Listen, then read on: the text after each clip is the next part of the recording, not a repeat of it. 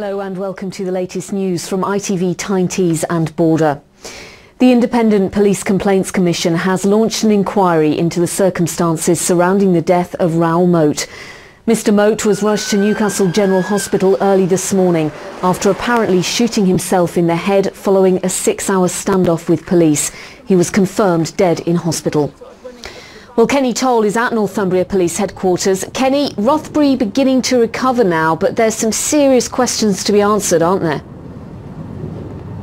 Yes, as you say, many questions to be answered, but little chance of them being answered anytime soon by the police because of that IPCC investigation. The police making very brief statements at that press conference earlier on today. What we can confirm tonight is that two police officers known to have fired taser stun guns. Well, questions for this investigation will be why they felt the need to fire those guns and what part did they play in persuading Raoul Moat to pull the trigger and take his own life.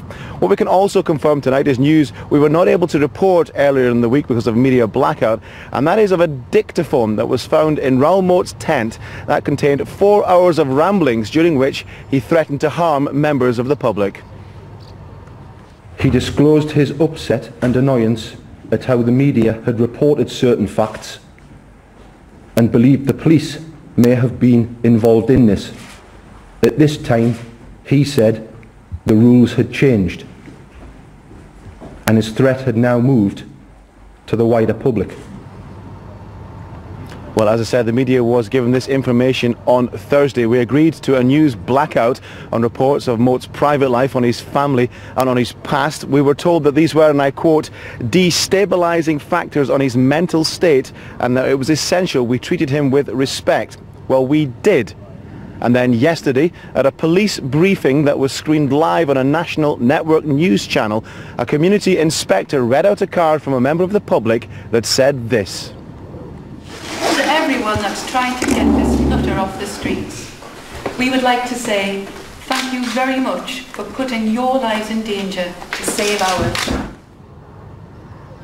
Well, temporary Chief Constable Sue Sim was later then seen to, to smile. Uh, very embarrassing for this force. It quickly issued a public apology. Then later, yesterday evening on the website Twitter, it sent out an urgent tweet saying that media reports were upsetting Moat during this standoff. Well, all of this and everything surrounding this death, as we said, now matters for the Independent Police Complaints Commission. Sources here say they will not be answering any questions until this investigation is completed. Philippa. Mm, Kenny, thank you. Well, uh, let's cross to Helen Ford now. She's been in Rothbury throughout today. Helen, the town must be regaining some sort of normality now.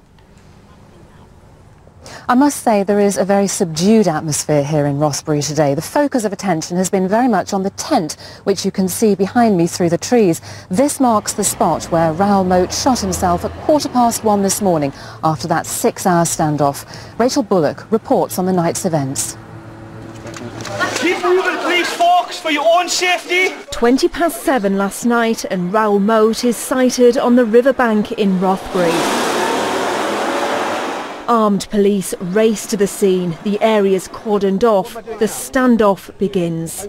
And here we see the man hunted for seven days. Moat, dressed in grey, lying face down in a field, holding a gun to his head.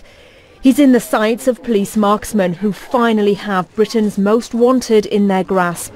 Residents are ordered to stay indoors while trained negotiators coax, urge, appeal to Moat to lower the gun from his head. Listen to me, Raoul. Look, ignore them.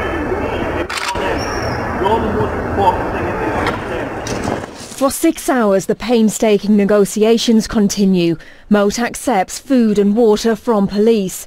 But then in the early hours after Moat is heard saying nobody cares about me, a gunshot rings out in the heavy rain, followed by frantic police shouts. Moat shot himself, though it appears no officers fired guns, a taser was used. No police were injured. Paramedics swoop in and rush Moat down the A1 to Newcastle General. Moat is stretchered in and pronounced dead, killed by his own bullet, a bullet which ends seven days of public and police fear.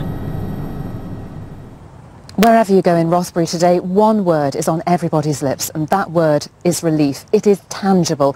At the same time, there is also a great deal of sadness that this huge police operation had to end in such a tragic way with yet another loss of life. Here's what local people had to say to us. It's relief, really relief.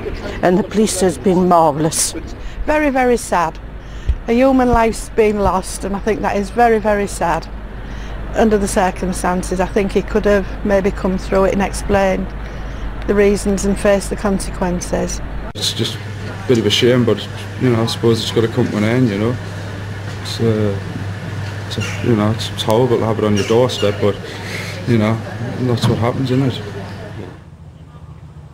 It is remarkable, isn't it, that after that huge police operation across Coquetdale, Raoul Moat was cornered right in the centre of Rothbury last night.